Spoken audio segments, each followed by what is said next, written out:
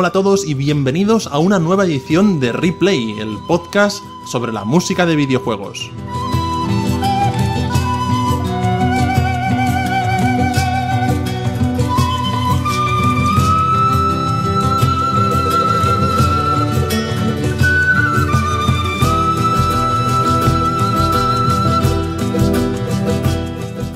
Estamos en el cuarto episodio y hoy traemos novedades muy interesantes. Muy buenas, David Jaume Andreu. Muy buenas, Albert García. ¿De qué novedad se trata hoy? ¿Hoy qué novedad traemos para la gente aficionada a la música de videojuegos? Bueno, hoy como de hecho nos habían pedido varias personas, tenemos nuestro primer invitado en una edición que hemos decidido llamar Multiplayer. Tenemos la primera versión de multiplayer aquí y damos la bienvenida a Rafa Jiménez, nuestro primer invitado, gran aficionado a la música de videojuegos y además profesional del mundo de la música. ¿Qué tal, Rafa? ¿Cómo estás? Hola, ¿qué tal? Muy buenas, encantado de estar aquí con vosotros. Y para, para la visita de Rafa le hemos pedido que nos hiciera una selección de, de sus temas predilectos y además le hemos querido combinar con una selección de las músicas que nos habéis pedido vosotros, que han sido muchísimas. Le hemos dado a. De hecho, ya que teníamos a Rafa aquí, le hemos dado a Rafa eh, toda esta lista de peticiones que creo que ya ocupa como un par de páginas. Y él mismo ha hecho también una selección de vuestros temas. Pero antes de nada, toca adivinar cuál era el tema misterioso de la semana pasada, que también propuso aquí el amigo Rafa in Action, Rafa Jiménez. eh, y que tú mismo, Rafa, puedes eh, desvelar eh, de qué tema se trataba. Bueno, pues se trata de, de un tema de los Odyssey, eh, juego que salió en Xbox 360. Eh, se llama Neverending Journey, la canción suena concretamente en el mapa de- del videojuego. Y bueno, aquí tenemos otro tándem de Uematsu Sakaguchi y bueno, dejaron el listón bastante alto, la verdad. Desde luego, a mí me encanta cómo suena, tiene, tiene este, este aire de épico y tal, pero luego tiene un, un aire un poquito también de, de western, ¿no? Me recuerda un poco a, aqu- aquello que escuchamos de Wild Arms, ¿no? Con, con este, este loop de guitarrita y con, con la melodía principal que podría ser un silbido, ¿no? Totalmente, me suena muy western. David, hubo varias personas que adivinaron el tema. ¿Quiénes, quiénes Exacto, fueron? to- todo un récord en este tema. Se nota que, que, que gusta, que ha gustado eh, este juego. Pues mira, a través de la web Fred Stark eh, y a través de Twitter eh, hubieron varios, Intro Game Over y Roberto Pastor.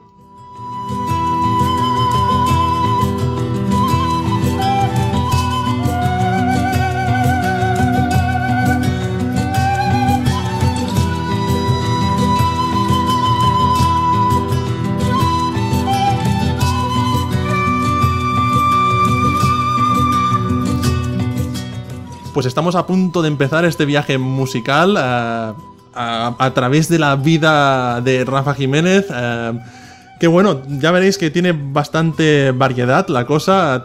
Tocaremos temas desde chiptuneros hasta bastante orquestales. La cosa va a ser bastante variada y además hay muchos temas de muchas sagas míticas que todavía no habían salido en el programa y que aquí, pues eh, Rafa nos has aquí propuesto y van a sonar por primera vez. Ha sido una ardua tarea la que me habéis dado por, por- por resumir en, en los temas que he escogido, pero bueno, que espero que, que sean del agrado de, de la gente que escucha el, el programa y bueno, a vosotros os han gustado de momento. Nos, o sea nos que ya- han encantado y a mí especialmente me ha gustado que me has recordado algunas que hacía mucho tiempo que no escuchaba y otras que nunca había oído y que es parte de lo que más me gusta de este podcast, ¿no? Aprender nuevas, nuevas músicas, des- descubrir nuevos compositores, que siempre una delicia. Yo he de decir que es, es- es bastante complicado, ¿eh? elegir unos cuantos temas es complicado con la cantidad de, de- de buena música que hay eh, en videojuegos es, es complicadete, pero eh, bueno, insisto, eh, espero que sea del agrado de, de la gente. Seguro que sí, y más con el tema que vamos a, a dar salida a este, a este viaje por la playlist de Rafa.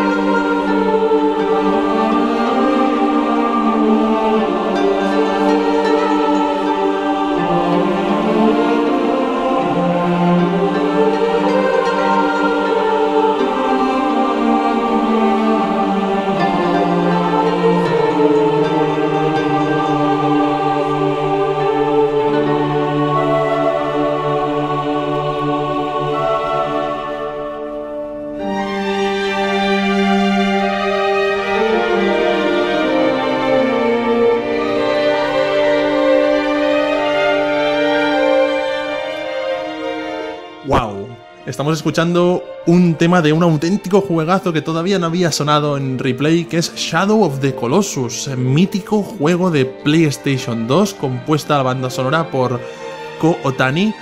Em, ¿Por qué este tema para empezar? Además de lo obvio de que es buenísimo. Yo creo que lo épico que tiene el tema eh, te hace prevenir de que te espera algo muy grande en ese juego, ¿no? Y nunca mejor dicho, no por los colosos, sino por la música que tenía. Eh, la verdad que Kobo Otani es un compositor muy, muy enfocado a, música de animes.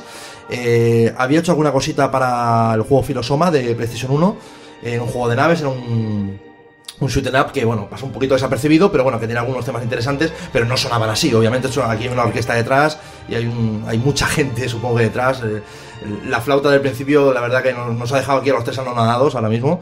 Y he de decir que, no sé, es uno de esos temas que yo lo voy a decir así. A mí este juego, uno de los juegos que me marcó, me marcó mucho en mi vida, eh, no solo por la forma de jugar, sino porque la música eh, a la imagen encajaba de una manera que pocas veces había visto. Sí, además en un juego donde no hay diálogo, ¿no? Eh, la música acompaña perfectamente y juega un papel fundamental ya no solo en, en ponernos en contexto, sino en explicarnos la historia. Además hay mucho silencio también. Todas las partes de exploración, que son muy numerosas en el juego, cuando buscamos a los colosos, es en completo silencio. Solo oyes el, el trote del agro, creo que era el nombre Agro, del- agro, agro, un el clásico, un clásico. el nombre de- del, del caballo y, y también es que podrías, has cogido este tema que es el del principio, pero podrías haber cogido también el de los colosos, Los- que son increíbles. brutales. Las fanfarrias que hay, además, eh, yo lo único que le he echado en falta siempre a Shadow Colossus para haber sido un juego perfecto musicalmente, ha sido una canción final que hubiera sido cantada de aquellas, mm, por ejemplo, una Lorena McKenney no hubiera quedado brutal, eh, una, una cantante se hubiera quedado genial. Lo que pasa que, bueno, eh, también queda muy bien, ¿eh? Eh, La canción final, pero bueno. Sí, porque el ICO tenía canción final y era la bomba, la canción final Sí, del ICO, sí, era por, por ej- preciosa. por ejemplo, por ejemplo. Pero bueno, eh, lo damos por válido, ¿no? Yo creo porque... Yo creo que sí, yo creo que es, es de esas bandas sonoras eh, solemnes y excelentes, ¿no? No sé, yo la he puesto como, como opción porque sé que mucha gente la conoce, por, Sí. por- por el juego obviamente, porque... Y además, eh, a gente nos la había pedido, que aquí tengo apuntado, por ejemplo, Isaac en Evox, creo que en el primero o segundo programa ya estaba diciendo, ¿cómo puede ser que no hayáis puesto algo de Shadow of the Colossus todavía? Bueno, aquí tenemos, aquí tenemos la excusa perfecta, la elección de Rafa, y si os parece, vamos a pasar, vamos a hacer un cambio de registro totalmente radical, y vamos a pasar a algo un poquito más animado.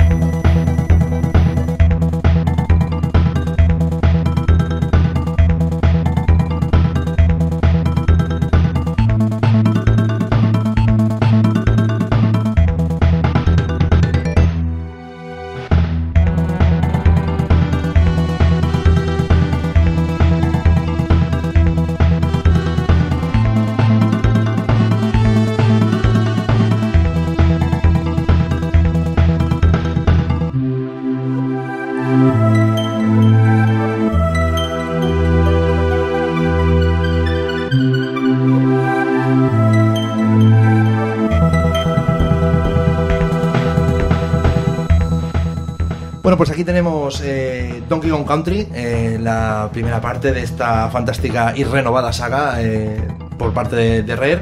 Eh, el tema se llama Fear Factory, la factoría del miedo, y bueno, lo he escogido uno entre muchos, porque aquí mm, escoger uno de los tres de la saga es difícil.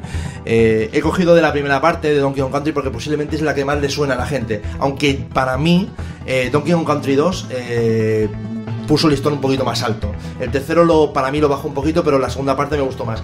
Pero este tema encaja perfectamente con ese escenario que se van apagando las luces, que, que- que- que te mete esas melodías poco escuchadas que son no dejan de ser acordes, entre comillas, sencillos, pero que te daba esa magia cuando jugabas y, no sé, con el gráfico pre-renderizado quedaba fantástico. Y, y provocaba un contraste total con todos aquellos entornos mucho más de naturaleza, ¿no? Que se oían Exactamente. sonidos mucho más orgánicos y esto es, es un sonido totalmente industrial, ¿no? Y realmente Era, crea- era- una fábrica donde estaban, o sea, quedaba genial. Era- Exacto, a mí me encanta. Ahora que hablabas de, de- de lo genial que era la banda sonora de, de este juego, eh, he leído que es una de las pocas bandas sonoras que se publicó en CD en Occidente, ¿no? Que es que aquí es relativamente raro, ahí en Japón es, es el pan de cada día, e incluso eh, resulta que también eh, Nintendo envió la banda sonora original a los medios de comunicación como elemento promocional. O sea, he aquí la importancia que ellos mismos habían visto de lo, lo grande que era, ¿no? Es que la escuchas hoy en día y te dicen que es la Super Nintendo. Y ostras, Cuesta de creer, cuesta de sorprende ¿eh? cómo aprovecharon el potencial del chip de sonido de la consola para sacar estos sonidos tan diferentes del resto de juegos. Directamente, también, por ejemplo, con Killer Instinct también hicieron una banda sonora rare Sí, bastante. La incluyeron además en el juego. sí. Exacto, es verdad, te incluyeron el. el- Era, era dense, Eurobeat, quedaba bastante bien, la verdad que. Pero, Sí. pero quedaba bastante bien el CD que venía aparte. Porque la música que sonaba en la Super Nintendo está bastante limitada. Había algún sampler que otro, pero muy poco, ¿no? Eh, el CD que comenta eh, David eh, se llama Donkey Kong Jam, que lo enviaron a, a, a toda la, la gente Sí, de sí. prensa y tal. Y también luego se vendió, además, ese CD en el mercado de segunda mano y tal, porque mucha gente, pues, como yo, que queríamos coleccionarlo, pues lo queríamos comprar, ¿no? Eh, he de decir que. En Donkey Kong Country 1 tenemos a tres eh, partícipes de esta banda sonora, eran Robin Beanland, Beanland, perdón, eh, Evelyn Fisher, eh, compositora que nada más eh, está acreditada, lo que he podido encontrar en, en el juego de Donkey Kong, que era de como Mario Kart, no recuerdo el nombre ahora exactamente. Sí, El Diddy Kong- Diddy Kong Racing, Exactamente. exacto. Y en este Donkey Kong Country 1 y eh, sorprendentemente en el 3. eh, y Curioso. En el 3 que compuso con David Wise, que es el que también está en el, en el staff de, este, de esta banda sonora del 1, y que se zampó eh, la segunda parte él solito, los 55 temas que, Casi tenía, nada, ¿eh? que tenía Donkey Kong Country 2, y posiblemente sea... No, hay, no se puede jugar a la gente, pero posiblemente sea el bueno de. El- el de- artífice, ¿no? El, crack, de- el crack un poquito de, de sonido. temas. Muy bien, pues eh, ya que hemos empezado así con, con temas cañeros, vamos a poner otro bastante, bastante cañero.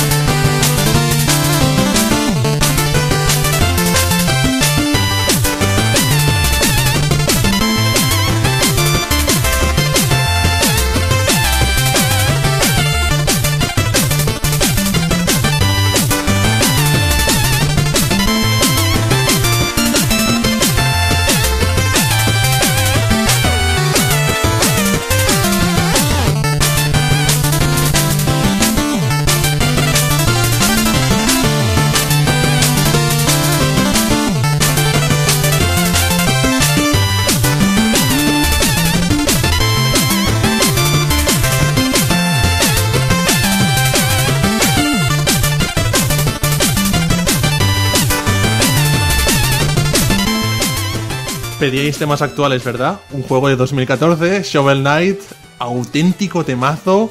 ¿Quién lo diría que este videojuego es de 2014? Pero con la moda de otra vez el retro, eh, este videojuego, para los que no conozcáis, es una especie de homenaje a clásicos de, de Nintendo de la NES, como Mega Man. Visualmente es pixel puro y duro, auténtico pixel. La paleta de colores, eh, David, esto lo sabrás mejor tú, corresponde bastante bien con la que podría tener una NES. Sí, sí, sí, parece que, para, confeccionar el juego lo que hicieron es eh, a priori limitarse a las limitaciones gráficas, tanto gráficas de sonido y de jugabilidad de la NES, eh, aunque luego en, en ciertos aspectos ellos mismos dijeron que bueno, que se habían saltado estas limitaciones pues precisamente para no ser tan retro, evidentemente para evitar cosas como el flickering por pantalla, para poder poner más sprites seguramente, había todo un artículo, lo, lo- escribieron ellos bastante interesante sobre lo que se podría haber hecho y lo que no se podría haber hecho, Eh, desde luego el sonido eh, lo que estamos escuchando suena auténtico NES, ¿no? Con esas, con esas, eh, con esos platos que, que están hechos por el generador de ruido, ¿no? Esos y el pu pu, la percusión es brutal.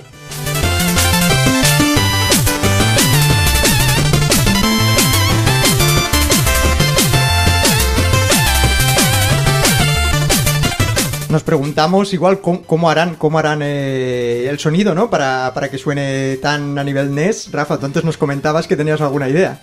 A ver, yo creo que yo también hago, hago música para, para aplicaciones y, y para bandas sonoras de, bueno, de, de anuncios de televisión y tal. Que luego escucharemos. Bueno.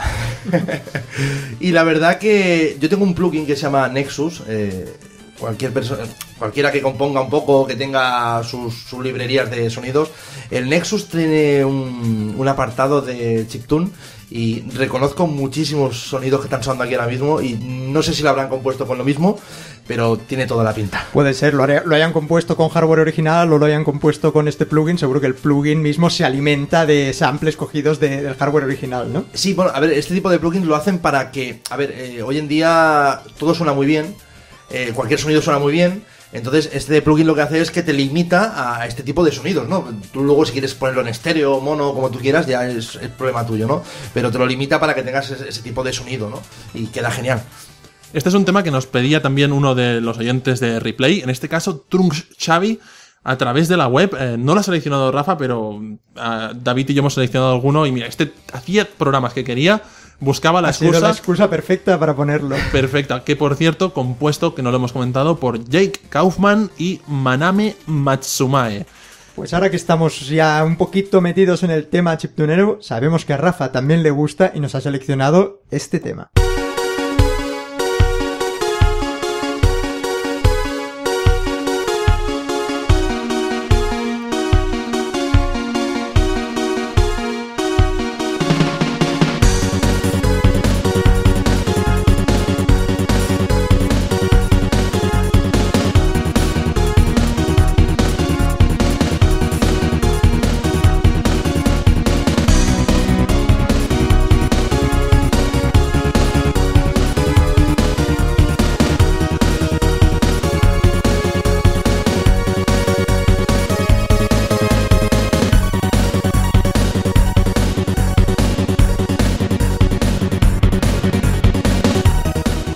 Pues muchos tendréis los pelos de punta, yo por lo menos aquí sí. Eh, esta música es de Super Turrican, eh, de la versión de Super Nintendo, eh, de la primera pantalla. El juego empieza así de potente musicalmente.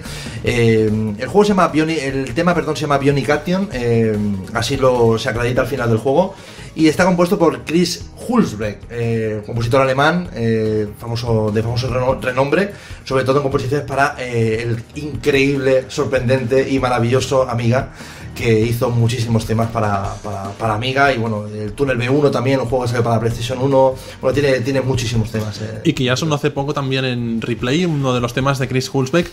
Creo que del primer Turrican lo pusimos hace un par de semanas. Exacto, de la introducción que nos lo habían pedido. Es verdad, en el programa de introducciones, que por cierto podéis recuperar si no habéis escuchado, porque están todos los programas disponibles.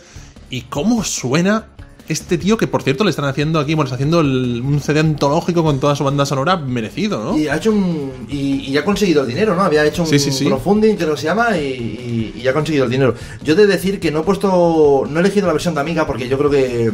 eh, que esté en un término medio, de, de muy antiguo y no tan antiguo, ¿no? Le he cogido la versión de Super Nintendo y he de decir que a mí, en la época, eh, cuando puse el cartucho, el- puse la televisión a todo lo que tenía y recuerdo a mi madre gritar, por favor baja eso, pero yo alucinaba porque eh, yo creo que pocos juegos, ¿no? Es lo que hablamos muchas veces, ¿no? Pocos juegos que de entrada te, te- te suene esto y no, no, es como que no das crédito ¿no? a lo que estás escuchando.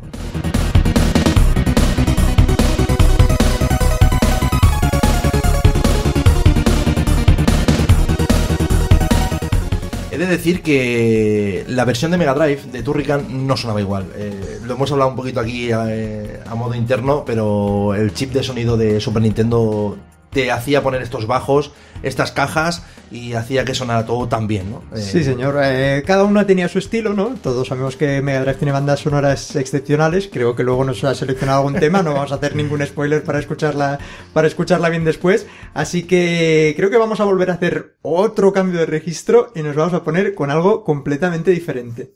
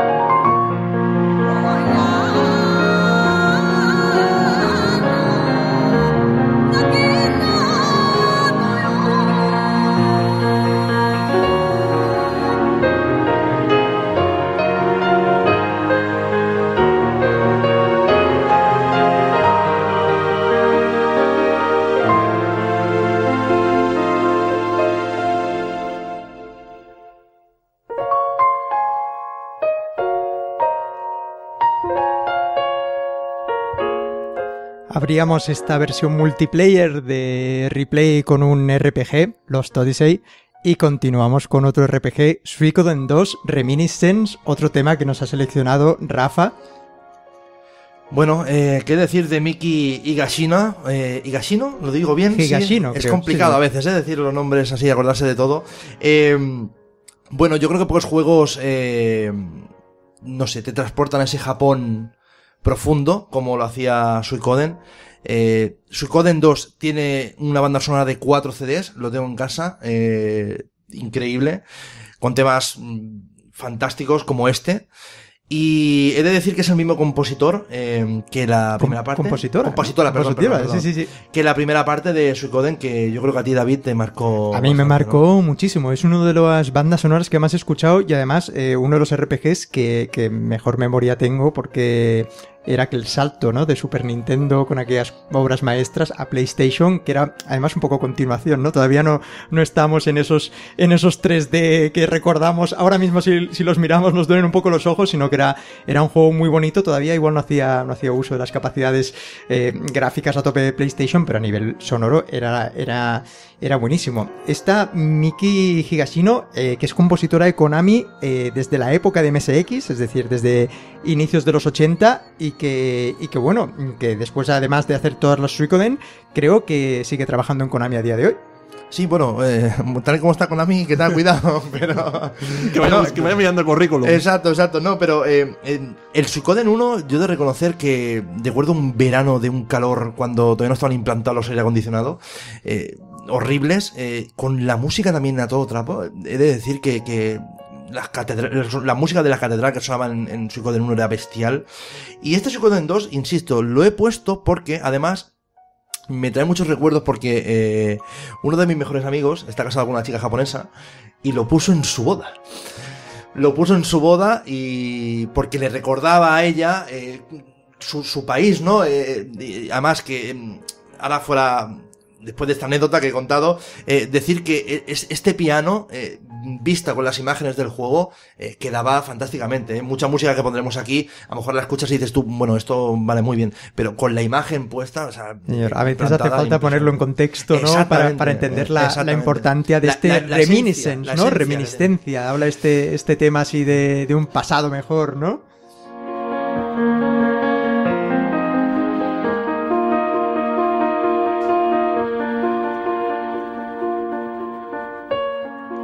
Le habrás dicho a tu amigo que escuche replay. Sí, si no, ya se lo diré. Espero, porque si puso el tema en la boda, Sí, es sí. que le tiene que gustar el programa sí o sí. Bueno, el tema se lo, se lo conseguí yo porque obviamente tengo la, tenía la banda sonora. Antes compraba muchísima música afuera de, de, de bandas sonoras de videojuegos y bueno, lo, lo pasamos a MP3 y lo pusimos en su boda y fue la verdad una quedada. to- Creo que sí, genial. seguro además que no desentonó, ¿no? En ese ambiente tan... No, no, no, no, claro, la mayoría japoneses ahí, claro, nosotros allí un poco Exacto. cortadillos, pero bueno, para Me- ellos les gustó mucho. Me encanta cómo suena esta voz.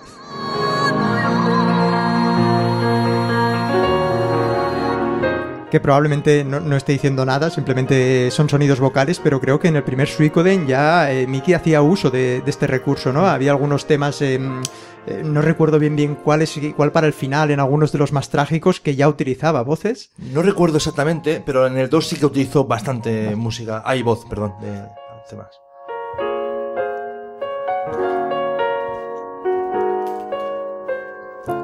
Sobre esto que comentas de la voz, eh, hay una cosa que, de ese tema que a mí me parece muy característica.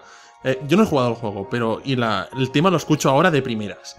Pero automáticamente me ha recordado a un anime que es muy conocido, que es Cowboy Bebop, que tiene una banda sonora también que si la pudiésemos poner de alguna forma aquí, yo sería el primero en, en ponerla. Y uno de los temas, uno de los más conocidos, se llama Space Lion, Sí, lo conozco. Lo y sí. es, es genial, es como muy del espacio. Y suena de fondo también esta voz como de una especie de, lo que decías tú ahora, David, como una especie de, a lo mejor no dice nada, es como un grito, como un lamento, como, como un idioma eh, antiguo, ¿no? Y creo que este recurso es mucho de los 90, ¿eh? Meter Yoko, ahí- Yoko Kano era como vivo, la compositora, creo que sí, ¿no? No- De- no nos- no Yoko Kano, que también es una grande dentro de, de los juegos y, la- el anime. Pues si nos gustan las voces así eh, dentro de, de músicas épicas, os va a encantar el siguiente tema que nos ha seleccionado Rafa para este replay multiplayer.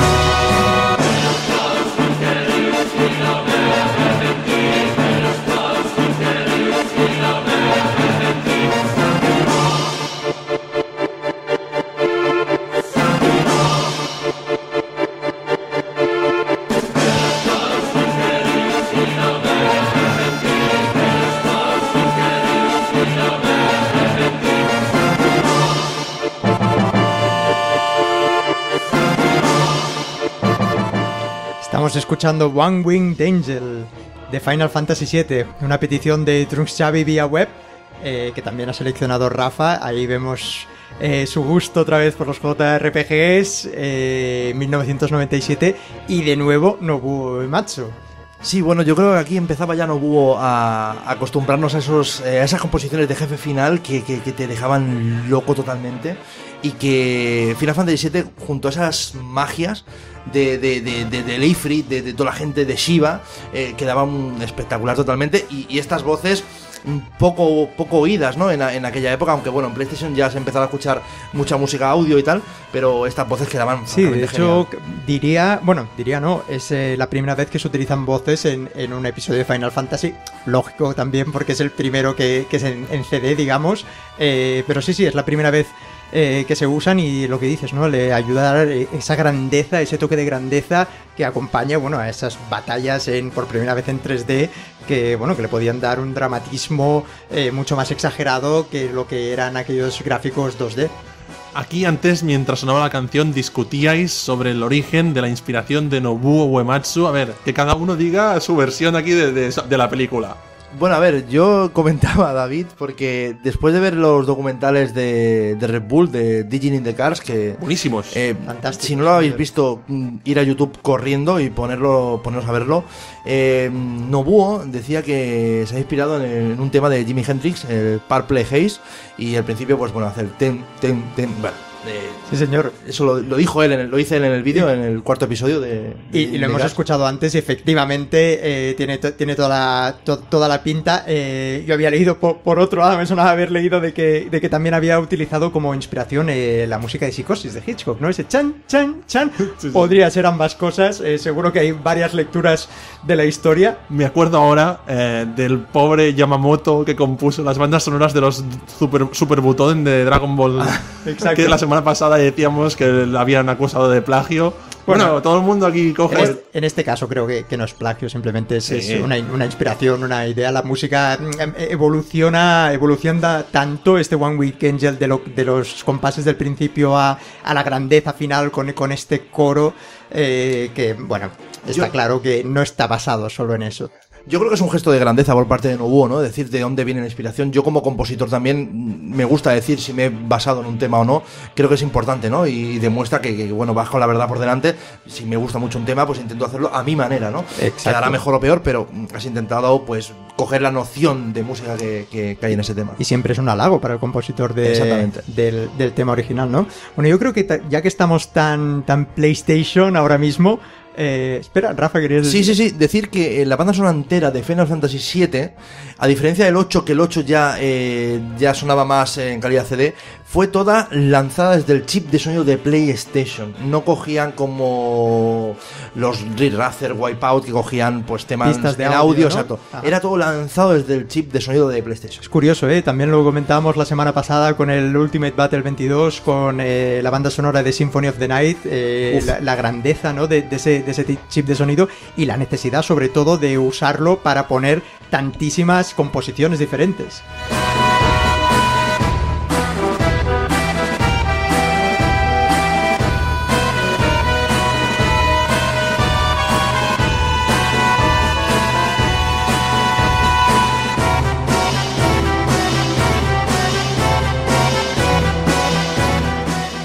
Como comentaba antes, ya que estamos tan metidos en el mundo PlayStation, no nos, no nos despe- despegamos de esta plataforma de momento y vamos por el tema de la semana que, aunque lo ha propuesto Rafa, lo hemos escogido Albert y yo.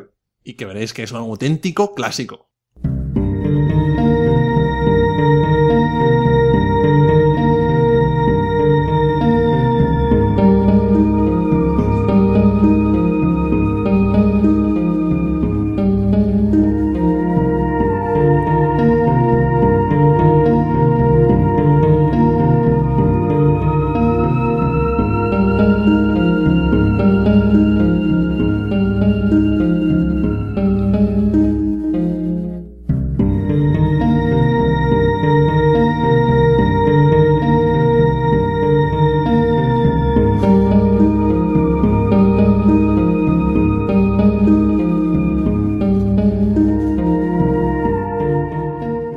Seguramente lo habréis adivinado ya, se trata de Resident Evil, del primero de todos, de la primera versión, porque ha tenido millones de versiones el primer Resident Evil para PlayStation, y la habitación de guardado, Safe Room, esa habitación a la que llegábamos totalmente acojonados. Destrozados, destrozados. destrozados.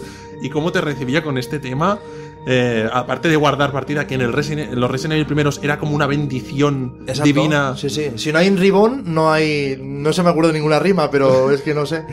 Era, llegabas bastante fastidiado, pero bueno, que, que es, es una mezcla de chill out, down tempo, no sé. Es ambiente, no sé, quedaba todo. Se te queda en el subconsciente, ¿no? De colectivo jueguil, yo creo, de todo, todo que, que, que jugó en la época, ¿no? En 1996. Totalmente, es lo mismo, es exactamente lo que te iba a decir ahora. Era un tema que había olvidado completamente y en cuanto estuve repasando los, los, los temas que nos habías pasado, fue como clic. Se salió de ese, de, de ese cajón de memoria que tenía olvidado para, bueno, para trasladarme a esas safe room pequeñitas con esa cámara puesta en algún sitio extraño que ponían ahí arriba, ¿no? Con aquellos pre-renders que, que, Que no aguantan por ningún lado, pero que nos encantaban entonces. Exacto, no se aguantan, pero la habitación como tal era como un área fuera de peligro, no había como sangre, era como la máquina de escribir. eh, eh, una- un- Sí, era por- como- sí, porque además a lo mejor te habían metido corriendo y de fuera había un zombie. Sabías que si salías te iba a coger. Estaba el zombie ahí que no habían matado porque no tenías balas o por lo que sea. Y por mucho zombie que hubiese, la música sonaba Sí, sí, tranquilamente. está- Señor, y es, y es un, es un tema súper relajante que, que realmente te invita a parar un momento, a respirar, ¿no? Tomar un poquito de aire y sobre todo a plantearte si ibas a usar aquel Ink o no lo ibas a usar porque sabías que el número de veces eh, para grabar estaba totalmente limitado. Bueno, y sobre todo para dejar eh, accesorios que no ibas a utilizar, porque a lo mejor el medallón no hacía falta todavía, cogías un spray, cogías una hierba, la mezclabas, era todo un... Era una... una- vamos, era, era, era complicado, ¿eh? Resident Evil 1, ¿eh? Sí, sí que era jodido. A mí me leche, encanta eh, eh, de, de este, de esta composición y por eso también eh, abogaba por escogerla como, como tema de la semana, el hecho de que en Resident Evil 1 eh, no había muchas músicas, casi todo era sonido ambiente, aquellos pasos recordamos que retumbaban en la mansión y sin embargo las composiciones que hay son todas fantásticas como estas, ¿no? Es, es, es, es curioso, es difícil, ¿no? Decir, ostras, ¿cómo voy a ambientar todo eh, un juego muy silencioso, muy, muy de, de sonido ambiente? eh, las músicas que vas a poner tienen que estar muy bien elegidas y esta desde luego es el perfecto ejemplo.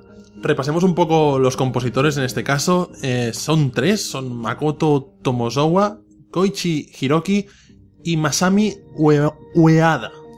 Que, Ue- que posiblemente Masami Ueda es uno de los era de los del fichaje claro que tenía Capcom en este aspecto porque eh, es lo que iba a comentar eh, esto marcó una tendencia dentro de la compañía porque en, de- en Resident Evil 2 pasa lo mismo en el 3 también en el 4 la música del, del Safe Room del Resident Evil 4 es Fantástica. fantástica también. Eh, iba a decir que Masami Ueda se ha acreditado también en los Devil May Cry que también cuando ibas a guardar o a canjear todos los orbes que tenías, sonaba una música que también es fantástica, ¿eh? De escucharla porque es muy muy buena. La del 1, ¿eh? No confundiros con la banda sonora de Resident Evil 2, ay, perdón, Resident Evil 1, la Director's Cut, que hicieron la edición, que la cambiaron la banda sonora. Sí, fue muy, muy criticado. muy, muy criticado por unos temas orquestales y surgió al cabo de unos años, hace poco, relativamente poco, creo que fue el año pasado, una polémica brutal en Japón con el compositor de la versión orquestal de la banda sonora de Resident Evil 1, que se llama Samuragochi, no, Mamoru Samuragochi, que resulta que, Onimusha, hizo la banda sonora Onimusha, Onimusha, y... que no la hizo él, No, exactamente. es- que la hizo pues otro compositor que la había pagado para que lo hiciese muy mal rollo. Cierto, cierto, leía Sí, sí. acerca de eso, ¿no? Un, un caso de Milli Vanilli, ¿no? Pero llevado a la Que- música que de deci- videojuegos. que decían que era sordo, le decían el Beethoven japonés. Sí, señor. Y, Y, era toda una farsa. y no- al final no era sordo, no compuso él. Bueno, A mí me sorprende, pero no me sorprende. Yo que llevo bastantes años y he estado en bastantes discográficas, esto pasa mucho más de lo que os pensáis. ¿eh? Eh, gente que pone su nombre, mm, DJ tal o Manolo tal, y no ha hecho la música nada. Eh, esto pasa bastante más de lo que os pensáis. Lo que pasa es que en Japón extraña porque son muy suyos, muy de, de ellos, Sí. de, de machacarse, de, de crearlo. Pero bueno, Y sobre todo crear una polémica así, está, este hombre está hundido para el resto de sus días, Sí, ¿no? sí, Aquí sí. igual nos diríamos, bueno, jajajuju, pero no. El esto- tío compuso un tema muy conocido, una sinfonía de hecho, para el conmemoración de Hiroshima. Y claro, la vendió un montón y claro, la gente al saberlo, con un tema tan catastrófico y tan dramático como ese, bueno, Es como si, yo que sé, insulto, ¿no? es como si Vangelis no hiciera la música o Yoji Haishi de, de- exacto. no hiciera la música o Nobuo no hiciera la música, ¿no? Vamos, se nos de locos. caería un mito al suelo. Pues si os parece, eh, Si os parece, podemos escuchar, ahora que estamos en este ambiente mitad del programa con este, los temas que nos ha traído Rafa, también compuestos Exacto. por él. Eh, os, pongo un poco en situación, porque yo he podido trastear con la aplicación. Es una aplicación, eh, es música para una app que se llama la app Maldita, que es un audiolibro, eh, no es un videojuego propiamente dicho, pero es un audiolibro en el cual la música es muy importante. Y. También es de terror, la, la aplicación es totalmente pues un relato misterio, terror, y, y yo creo que uno de los elementos que hacen que esto funcione principalmente es la banda sonora. Vamos a escucharla.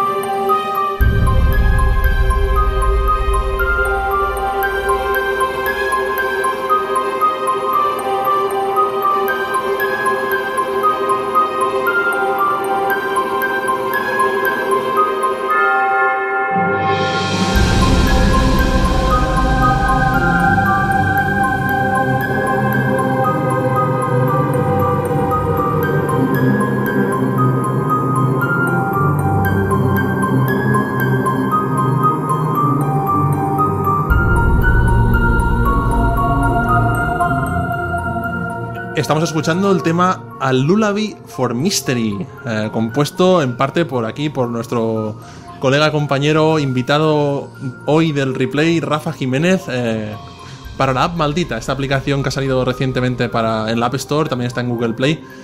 Rafa, coméntanos un poco toda esta composición, todo. Bueno, la verdad que he de dar las gracias al estudio OBI, que es un estudio de publicidad que se ha metido de lleno en la producción de, de aplicaciones para, para móviles. En este caso, una aplicación de terror, que es una, es un elige tu propia aventura, pero de terror.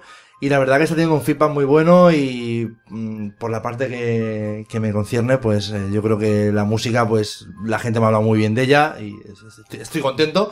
Lo, lo hemos compuesto, perdón, en Richard y Jonathan de la Cruz, que son hermanos, amigos míos de toda la vida. Eh, tenemos un estudio en común y somos socios para, para, para hacer este tipo de música que nos encargan y, estamos muy contentos. La verdad que antes hablamos de la simbiosis de compositores con, con bueno, no sé, no, a la hora de, de plasmar en la imagen, pues eh, aquí nos pasó lo mismo, ¿no? Eh, nos pasaban bocetos y nos dijeron que dé miedo, que, que, que sea de que te están persiguiendo, que tal, y entonces pues bueno, lo, lo intentamos hacer lo mejor- de la mejor manera posible y así, así han quedado. hombre, yo creo que lo habéis conseguido, ¿no? Este tiki tiki como un poco de caja de música mal rollera que y luego esto ¿no? Que, Bueno, que te está un poco- está un poco basado- de terror, ¿no? Sí, exactamente. O sea, miramos varios temas de, de videojuegos, sobre todo Si- Silent Hill, el Don Pur, eh, un poco de Castlevania, también un poquito, ¿Cómo un par de ¿Cómo campanas no? por ahí. Bastante Castlevania, ya veo y- aquí, ¿eh? y- sí, exacto, es, es lo que hablamos, ¿no? De, de- de inspirarte en temas que, que- que tú lo puedas hacer sin llegar a ser un plagio, una copiada total. Eh, pues bueno, Si os parece, escuchamos otro tema de la app maldita. Genial.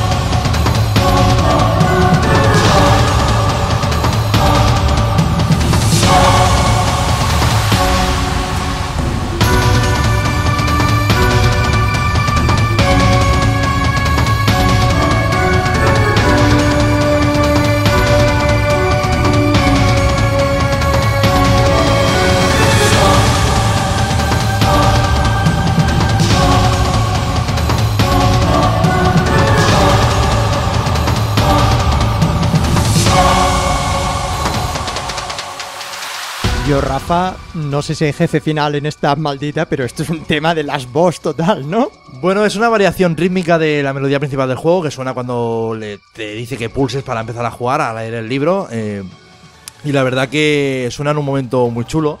que te están persiguiendo y ese es el objetivo. El, el director del proyecto nos dijo que te estén persiguiendo y vamos, que, que no llegas. Y bueno, la verdad que la composición nos gustó mucho como quedó y bueno, estamos bastante orgullosos de ellas. Desde luego es un tema que te pone en tensión. Como ha dicho Rafa, en el juego no hay enemigo final. Bueno, en el juego, en el audiolibro, yo lo he leído entero y al final no hay enemigo final, eso es verdad. Pero hay una putada para mí que soy un poco supersticioso que cuando llegué al final dije, ay, esto no se hace. No haremos spoiler, ¿no? Pero bueno, No haremos un- pero esto no se hace. Sí, la verdad que es una. Te hace ir a, a ponerlo delante de un sitio eh, para que lo veas. Pero bueno, que. que es, es curioso por, eh, cómo salió un poquito todo rodado, ¿no? Porque. Exceptuando algún tema que otro, eh, tiene seis o siete la, la maldita, eh, la mayoría se los quedaron a la primera. O sea, era, nos pasaban bocetos y Jonathan, Richard y yo, pues ya nos pusimos y de verdad que teníamos muy muy claro lo que queríamos hacer, ¿no? Señal de que era un trabajo bien hecho. Claro que sí. Esperamos poder Bueno. escuchar más cosas, más cosas vuestras en eh, apps, eh, juegos, eh, bueno, en cualquier co- cualquier tipo de, de aplicación interactiva, ¿no? Eso, eso esperemos. Con estos conocimientos de música de videojuegos que tienes, seguro que escucharemos más cositas. Pues si os parece, hemos empezado con temas muy orquestales, hemos pasado a escuchar más chiptuneros, ahora nos hemos vuelto a poner con música más moderna. Si os parece, vamos a volver a dar un salto al pasado con una petición de Diego CP, uno de nuestros oyentes vía Twitter, que a mí desde luego me encanta porque es un juego de MSX y a mí con MSX es muy, pero que muy fácil liarme.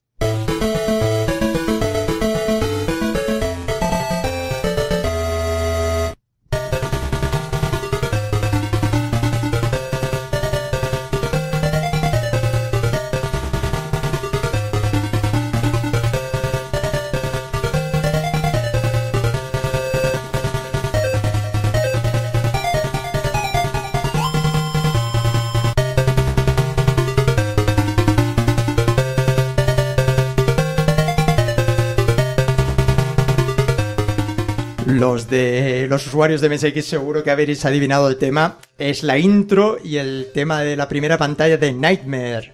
eh, la primera entrega de aquella magnífica trilogía para MSX de Konami, la precuela de The Maze of Galliu- Gallius. que Oh, palabras seguramente- mayores, ¿eh? Exacto, seguramente es, es más, es más conocida. Se trataba de un- una especie de shooter ahí donde, eh, en vertical, donde controlábamos a, a la protagonista Popolon, creo que se llamaba, con su armadura disparando a millones de enemigos que te aparecían por arriba mientras ibas avanzando. Eh, y si antes hablábamos de Miki Hashino, la compositora de Suikoden, este tema también es suyo, del 1986, eh, y de esa época dorada de Konami con MSX, artífice esta mujer también de bandas sonoras como Life Force, Gradius, Years Kung Fu, eh, una titán, ¿no? Es- tenemos este sonido clásico, el PSG, el Programmable Sound Generator de MSX. Eh, sé que hubo, hubo una versión que, que se incluyó en la Konami Games Collection, el volumen 1, para esta misma máquina, que hacía uso del SCC, ese chip del que hemos hablado en anteriores programas que añadía más, más canales de audio. O sea, es una composición eh, que, que tuvo un, un cierto, un cierto remix, ¿no? Eh, pero bueno, eh, he decidido que nos quedáramos con la, con la versión original, que ya sabemos que somos eh, aquí fans de, de lo primero. Eh, y si os parece, seguimos con el, con el rollito chiptunero. Y tanto que seguimos con este rollito, vamos con una, ahora sí, otro tema seleccionado por Rafa, de un clásico que también suena súper potente.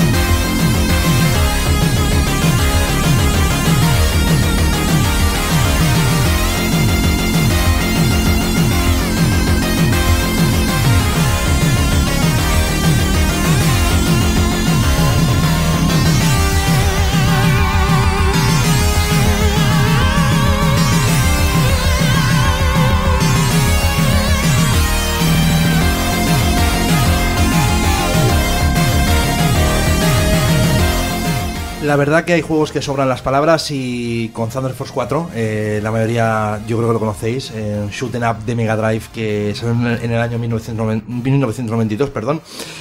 Bueno, yo creo que pocas veces hemos querido llegar a una octava pantalla donde en este juego, en la octava pantalla sonaba esta canción que se llama Metal Squad, eh, compuesto, eh, banda sonora entera compuesta por Takeshi Yoshida, Toshiharu Yamanishi, que este es el compositor de este tema, según eh, Video Games Music Database, que es donde está ido la, información, y también había composiciones de, de Tomomi Otani.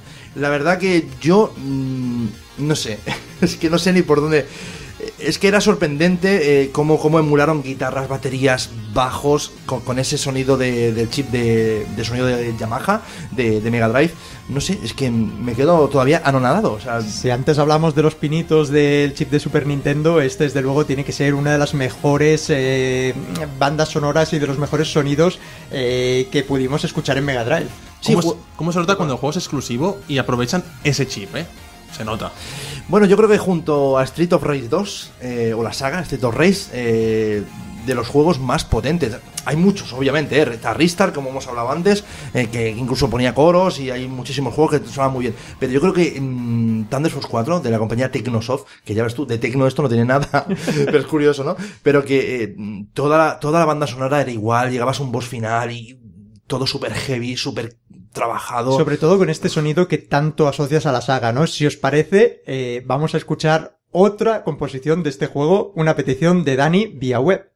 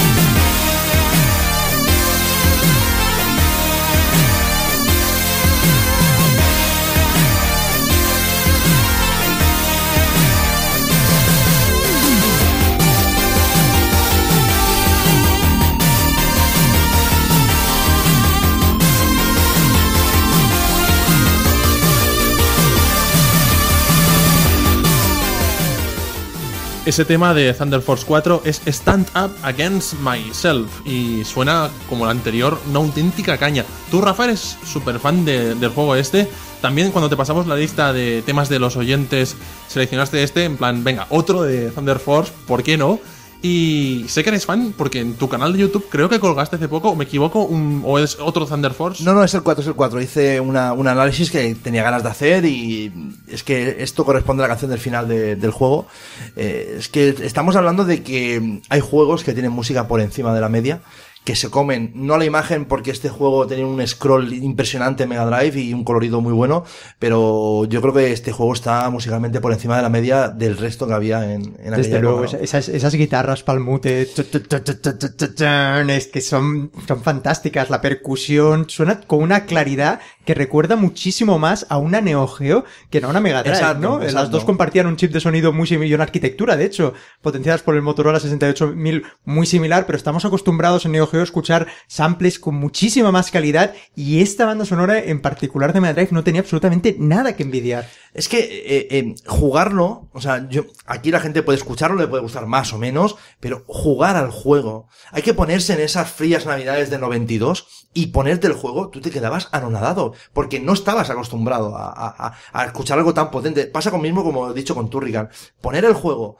y esa música, es que mm, estaban por encima de la media. Yo me gusta esa palabra porque estaba por encima de la media. No me digas que conectabas los auriculares a la entrada de auriculares de Mega Drive. Yo hacía locuras, Para- yo, yo hacía de- locuras. una de las mejores fiestas de Mega Drive, la entrada de, de cascos, ¿no? Que si no, era solo en las portátiles. Pues, ¿qué os parece si nos quedamos en el mismo género, pero cambiamos de plataforma? Vamos allá.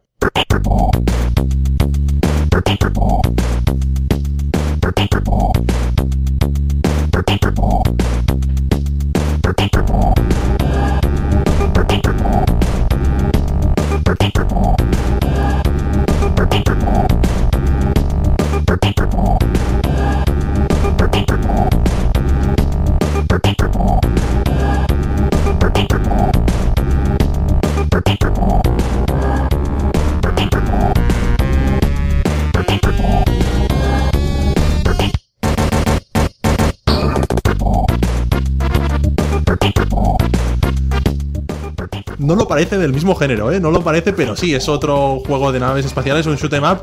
En este caso es Super R-Type, Super R-Type. eh, el, tema es eh, R-Dance, R-Dance.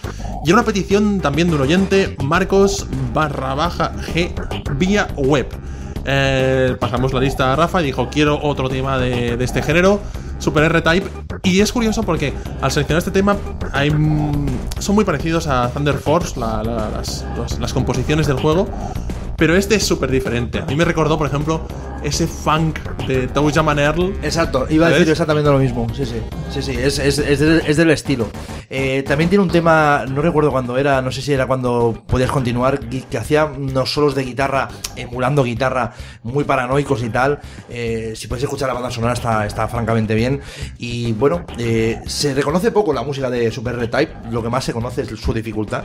Aunque yo he de decir que con la enfermedad a cuesta yo me la acabé en su época en Super Nintendo, pero que no se menciona mucho la música y es una pena porque tiene este, por ejemplo, es- esto que estáis escuchando, yo creo que es no dejan de ser armonías raras y un loop ahí. Sí, la verdad es que es, es un- es- es una composición eh, bastante única, ¿no? Y además eh, tiene bastante mérito porque este es un juego del 91 y yo no sé si es de, de lanzamiento, ¿no? De lo- Creo al que menos sí, aquí ¿eh? en Casi, Europa casi, es, sí. de, es de los que nos llegó primero y me encanta cómo... cómo eh, cómo va subiendo, ¿no? Va subiendo, va subiendo, es como una especie de subidón lento pero continuo que ¡pam! y luego suena el... eh. Además, no reconozco el nivel de la pantalla de esta canción, pero tiene pinta como de menús. No, Sí, no lo sé. sí, o elegir, no sé, sí, Elegir armas, O, o- el poner el nombre, no sé, es que. No sé. está claro que tienen que ser de esas pantallas eh, en plan R-Type que no, no había scroll muy rápido, sino que ibas avanzando poquito a poco, ¿no? Y te, ven- te iban veniendo los enemigos como diciendo, bueno, eh, no era un juego excesivamente rápido y yo creo que esta música, bueno, pues le va como anillo al dedo. Repasamos los compositores. En este caso, Yasuhiro Kawakami, Takushi Hiyamuta y Hiroshi Kimura. Voy a dejar la partida ahora a David todos los nombres en japonés, creo. ¿eh? Sí, señor, compositores de Irem de la época, eh, tampoco no hemos encontrado que hicieran eh, mucha cosa fuera, digamos, de Irem, eh, eran compositores in-house, eh, y esto, de hecho, es de las, de las eh, composiciones más, más famosas que se les atribuyen. Eh, nos encontramos en Super Nintendo, hemos venido de Mega Drive, ¿qué os parece si volvemos a Sega para escuchar otro de las piezas que nos ha seleccionado Rafa?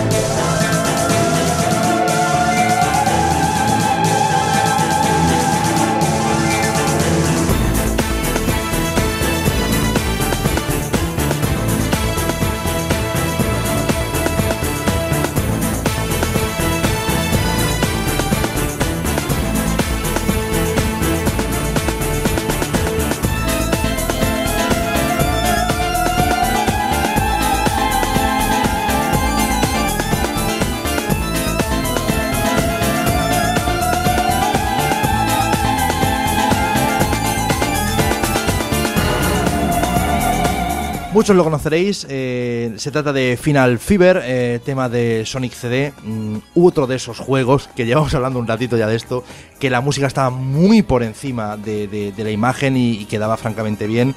Compuesto por Naofumi Ataya y Masafumi Ogata, estos dos señores crearon Pa- A mí es uno de los Sonic que más me gusta, de decirlo, junto al Sonic 2. Eh, no sé, eh, toda la banda sonora, tanto presente, pasado, como tenía futuro, o sea, era, era, era toda la, la composición, era impresionante. Eh, un uso de loops, de samples, de voces, de, de- de todo que no se había escuchado nunca. Esa intro de, de- de Sonic CD que nos marcó, ¿no? Con las voces de Keiko Utoku, que, que desgraciadamente luego salió la, la remasterización en Play 3 y 360 y quitaron las voces por tema de derechos. Pero bueno, quería decir que Sonic CD a mí me ha marcado siempre, siempre me marcó. Recuerdo ese 1993 que, que, lo puse en Mega CD y dije, no me lo puedo creer, porque es que había techno, había dance, había Eurobeat, había música así épica, una fanfarria épica como esta, que, que, era, era digno de, oír. Sí, señor, y cuando comentas este, este asunto de la banda sonora, además, eh, Sonic CD fue uno de esos juegos que al llegar a Estados Unidos se cargaron por completo la banda sonora y crearon una totalmente nueva para, para el público americano. Por suerte, aquí en Europa eh, bueno, conservaron la banda sonora original. Japonesa, la japonesa, sí. La versión americana la compuso Spencer Nielsen, que es un compositor eh, americano que eh, se conoce más que nada por la banda sonora de la saga Echo, Echo de Dolphin, que Curiosamente, a mí las composiciones que hizo para Sonic CD no me gustaron, me gustaban más, mucho más estas, eran más épicas, más rápidas, más todo, eh, y tenía ese toque japonés de, de, de, de, rapidez y de, y de esencia que tienen los japoneses para componer. Pero Spencer Nielsen compuso la, la música, la banda sonora de, de Echo para Mega CD. Y he de decir que hizo un trabajo fantástico, ¿no? Pero bueno, a mí en Sonic CD no me acabó de, de gustar. ¿Sabes, Rafa, que es la primera vez que suena Sonic en este programa? Así inaugurado para entendernos el. Bueno, eh, está genial. La verdad que tiene muchísimas pistas buenas Sonic CD. La mayoría eh, son, son geniales. Es que estaba muy por encima de la imagen de lo que veías. Porque tú estás acostumbrado, perdón, a, ver eh, ese Sonic 1-2 que la música era genial, obviamente, ¿eh? Pero ya sonaba aquí todo digital, voces, samples. Cuando llegabas un monstruo era, era, era, era, no sé a mí me, me, marcó mucho. Sí, señor, vemos que Rafa tiene una debilidad por los temas de Final Bosses. Me encanta. Eh, añadir un poco más sobre Naofumi. Naofumi Hayata es un clásico músico de Sega, eh, desde la época de Mega Drive, inicios, creo que su primer trabajo en el que aparecen los créditos de Sega es Golden Axe 2, hasta la actualidad, y de hecho sigue linkado eh, con la saga Sonic, que trabajó en Son, en Colors, en Generations, en Lost World, ya sabemos que no son títulos que gusten mucho a los fans de la saga, pero... su banda sonora de los últimos está muy bien, ¿eh? el juego ya es más discutible, pero la banda Eso es otra cosa. Aquí lo que nos importa es la música y si os parece, no vamos a abandonar la saga Sonic, ya que la hemos sacado y ya que nos gusta, vamos a escuchar otra pieza, una petición de hecho de Pepe Trucci vía Evox. Vamos allá.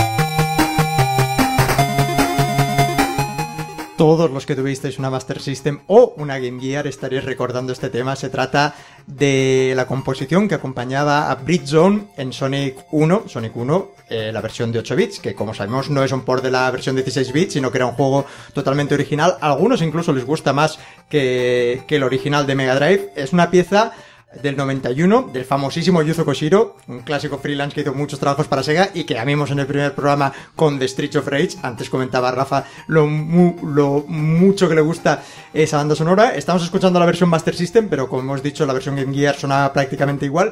Y como curiosidad, eh, Pepe Trucci nos comentaba que se parece mucho al estribillo Together Again, un tema de Janet Jackson del 98, pero yo quiero añadir que todavía se parece más a la, al opening, a la canción de inicio de Full House, eh, Padres Forzosos, aquella serie, del año 86 es este tema, y desde luego, si escucháis, creo que en YouTube incluso hay un mashup interesante sobre las dos canciones, porque suena exactamente igual. Me alegro de que hayas visto un mashup en YouTube, porque estaba empezando a pensar mal de ti, David, David, eh, buscando conexiones raras aquí con series. No, pero desde luego ahí podríamos incluso hacer un, un, un programa de parecidos razonables, ¿no? Está apuntado, está apuntado esta posibilidad. Bueno, pues ¿qué os parece si de este tema tan alegre y tan chiptunero pasamos a una cosa mucho más oscura y mucho más moderna?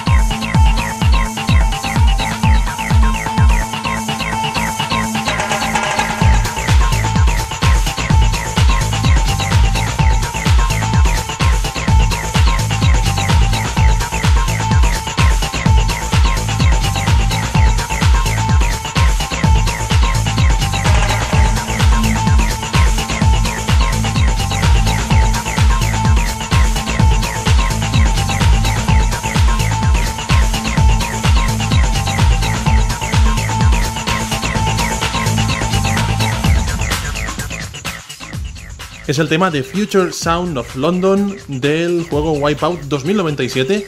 Eh, también petición, en este caso de Aleix Risco, vía Twitter, que nos pedía un Wipeout. Aún no había sonado Wipeout tampoco en el programa. Y bueno, eh, Rafa aquí dijo: Wipeout que, sacamos.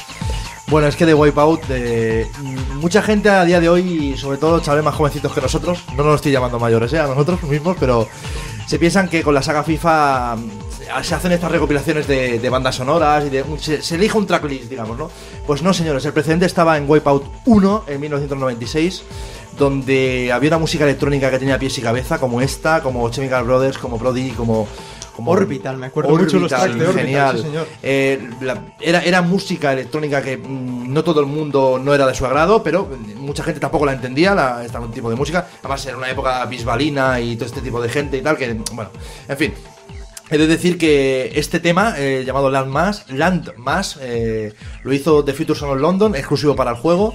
Y bueno, es que mm, yo os invito que hagáis un, replay de, exclusivo de, la música de Wipeout porque hay mucho de que hablar aquí. ¿eh? Sí, señor. Yo recuerdo especialmente la banda de Wipeout 3 y Wipeout 3 Special Edition. Eh, me las había puesto muchísimo para escuchar. Además, era un poquito la época del boom del techno. Además, PlayStation tiene.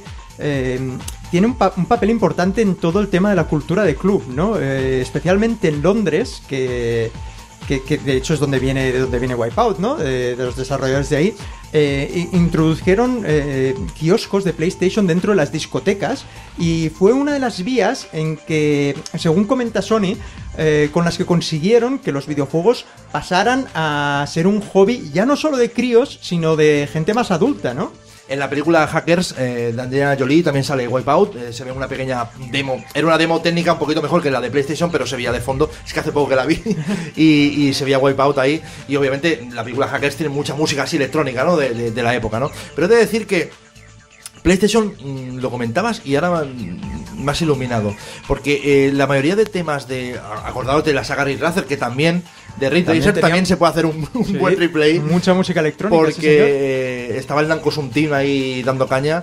Y he de decir que en los principios de PlayStation, la mayoría de juegos tenían música electrónica. Destruction Derby, Ridge Racer, Wipeout, era todo muy, muy, muy electrónico. Exacto, especialmente los que venían de Europa, ¿no? Que había ese boom de música Exacto, posiblemente porque quedaba muy espectacular, ¿no? Sonidos nuevos, sonidos que la gente no había escuchado, mucho estéreo, mucho, mucho sampler, mucho, mucho, no sé, eh, genial. Sí, señor, y que además en, en, en, un, en un juego como Wipeout, donde la estética estaba tan, tan, tan cuidada, la música también acompañaba la, aquellas voces eh, medio robóticas, ¿no? Acompañaba todo a ese futuro e incluso un poquito desolador, donde los personajes, no había personajes, no había la importancia de personajes como los pudiera ver Exacto. en F0, mm. sino que era todo mucho más industrial, con aquellas naves y la música, claro, eh, acompañaba Quedaba perfectísimamente, perfecto, creaba un ambiente fantástico. Pues nos quedamos en PlayStation y vamos a por el último tema que nos ha seleccionado Rafa, que seguramente no lo reconoceréis pese a que el juego es muy famoso.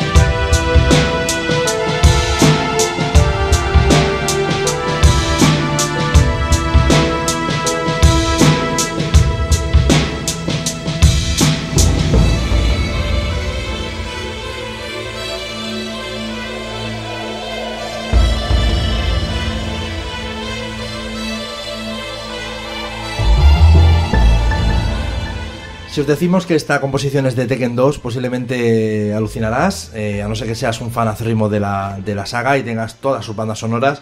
Eh, este tema corresponde a al escenario Devil, eh, del personaje Devil, y he de decir que me encanta, transmite mucho, es un chill out, don tempo así, tranquilito, que cuesta nada de arrancar, posiblemente toda esta parte final la gente no la, no la habrá escuchado porque eh, los combates son rápidos en Tekken y cuesta, cuesta, cuesta centrarte también en la música, ¿no? Pero bueno, es una auténtica maravilla. eh, Sí, señor, yo, yo que había jugado muchísimo a ese juego, no recordaba en absoluto esta pieza, así que me ha encantado escucharla y me ha encantado ubicarla dentro de un juego de lucha como Tekken 2, ¿no? Que las melodías solían ser mucho, mucho más cañeras y no tan chillados. Desde luego, igual ahora que comentas que es de Devil, de aquel personaje eh, final, ¿no? Eh, Sí, sí, que además el escenario era, eran muchos espejos de fondo. Es que Exacto. había mucho final, ¿no? De, de hacer el efecto espejo para. para, para Sí, para señor, pues igual pantalla. sí que, sí que, sí que le, sí que le pega, ¿no? Sí que le pega así, eh, tiene un, un, un rollito un poquito más grandioso, ¿no? Eh, más problema- que se lo toma en serio la batalla. Insisto, el problema es que le cuesta arrancar al tema. Entonces, yo creo que si, si pones en combate de 6, a lo mejor sí llegas a escucharlo, pero si es un combate de dos rounds, no llegas. Eh, pero me parece una auténtica maravilla. Compuesta, atención, aquí me voy a equivocar seguro, por Yoshi Arakawa eh, y Yoshi, eh, eh, sí, Yoshi Arakawa y Yoshi Takanagan. Takanaga. Takayanagi, creo yo. ¿no? Increíble. No he dicho, fatal, fatal.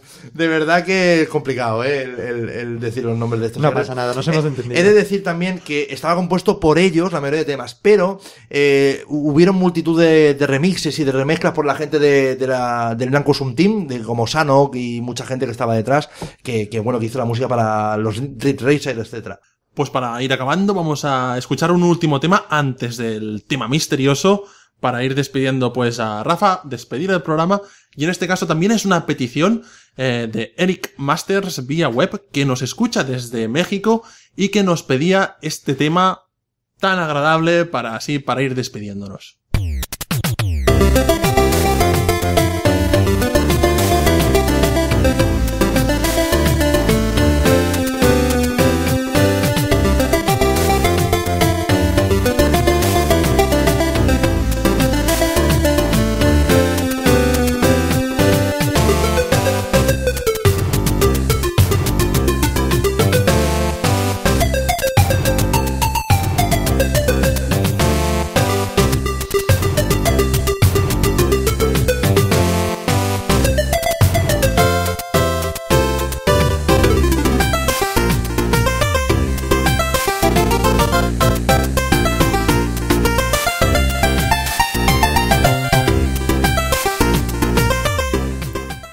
Es el tema Good Weather de Mr. Jimmick, de Jimmick, depende de- de- del país. Juego para NES, para Famicom, súper desconocido y cuya música está compuesta por Masashi Kageyama. A, a mí me encanta esta banda sonora. No conocía el juego, lo conocí precisamente con los documentales esos que comentabas antes, Rafa, de Red Bull, los Digging in the Cards, en el segundo episodio. Escuché esas- esos temas eh, compuestos por Kageyama y me fliparon. Y se ha convertido, sin haberlo jugado todavía, en una de mis referencias de bandas sonoras porque suena perfectamente y tiene una explicación. Suena fantástico y la explicación también es que ese cartucho llevaba mm, una, especie, una versión especial de un chip de audio que curiosamente es el chip de audio también que usaban Amstrad CPC y Atari ST. Ya sabéis lo bien que sonaban esos sistemas.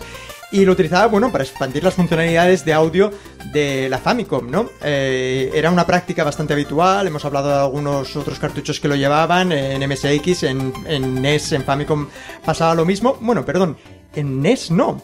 Hasta tan solo pasaba en Famicom, porque el chip no está incluido en la versión PAL del juego, y es que las NES, tanto las PAL como las americanas, no tienen los pins en los cartuchos para poder usar chips de audio externos. Esos pins, cuando hicieron el rediseño, los usaron para eh, trasladar, digamos, los datos del chip de protección de, de la NES, aquel infame NES 10, precisamente porque la Famicom había sido pirateada a muerte. Entonces, por lo tanto, todas las versiones eh, PAL de los juegos que tenían bandas sonoras tan maravillosas como estas, a nosotros nos llegaba, bueno, pues una versión, eh, digamos, un tanto inferior. Por lo tanto, si algún día hacemos un programa especial de NES, seguramente será un programa especial de Famicom. De toda manera, este juego que que es de Sunsoft del año 92, tan solo llegó a Escandinavia. Curioso, Curiosísimo. curiosísimo, lo que le convierte a este cartucho en uno de los más cotizados eh, para los coleccionistas de juegos PAL, Especulaciones mil, supongo. supongo.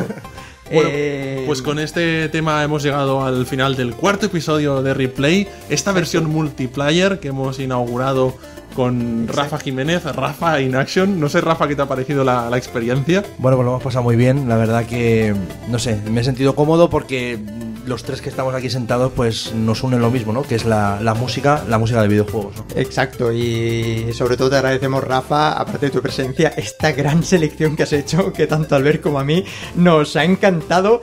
Eh, estamos encantados de tenerte aquí como primer invitado en estas ediciones multiplayer de replay, que queremos repetir al menos una vez, una vez por mes, Albert. Sí, algo así, una vez al mes, aparte de los programas pues más temáticos, programas eh, también de una plataforma, sobre un género, sobre un autor, pues una vez al mes que venga alguien para compartir, porque es que es nos aporta riqueza, nuevos temas, nuevas voces, nuevas formas de ver la música de videojuegos y también muy importante, y como habréis notado en, este, en esta edición de Replay, Todas vuestras recomendaciones son súper importantes. Hoy habrán sonado con por lo menos 5, 6, 7 recomendaciones vuestras que nos habéis hecho a través de Twitter, a través de la web, a través de emails que enviáis en la dirección de correo del programa, a través de, yo qué sé, de, cualquier vía que, que encontréis para contactar con nosotros. Son súper agradecidas porque además eh, nos dais ideas, que tenemos una, una especie de Excel, David y yo, donde apuntamos todo, pero que a veces necesitamos un poco de, de ideas nuevas. Exacto, pues si os parece, eh, vamos a cerrar este replay multiplayer con el tema misterioso de la semana, que curiosamente también ha sido una petición de uno de los oyentes y nos va a servir